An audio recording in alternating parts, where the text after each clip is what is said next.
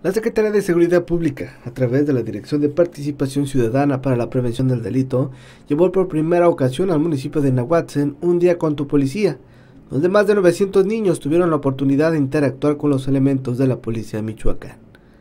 Este acontecimiento se llevó a cabo en la unidad deportiva de la demarcación, que fue apoyado por integrantes del Consejo Mayor, Ahí los pequeños y padres de familia pudieron disfrutar de horas de juego como la OCA, Lotería, Ciudad Vial, Servicios de Salud, Peluquería, Psicología, así como Tránsito y Movilidad, donde aprendieron las señaléticas y cultura de la prevención. Además de la interacción con la unidad de montada y canina, y conocieron más acerca de la labor de policía a través de los recorridos a bordo de patrullas y cuatrimotos, donde aprendieron el uso y significado de las luces y controles de emergencia. En el evento de inauguración, la directora de Participación Ciudadana para la Prevención del Delito, Marisol Sánchez Amudio, quien asistió en representación del titular de la SCP,